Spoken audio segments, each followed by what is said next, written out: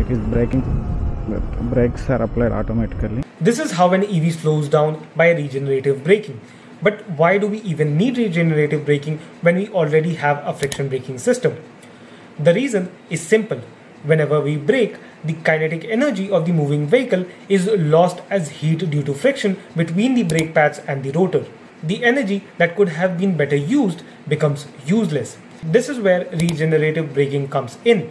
Instead of simply relying on the friction brakes to do all the job, EVs and hybrids use their motor to slow down.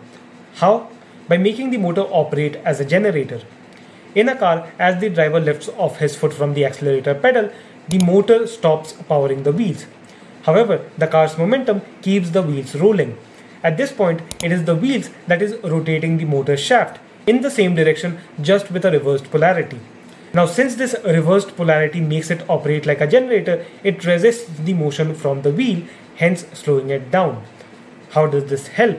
It helps because the electricity produced by operating as a generator goes through an electronic controller and is then stored in the battery. This prevents the energy from being completely lost, increasing efficiency and improving range.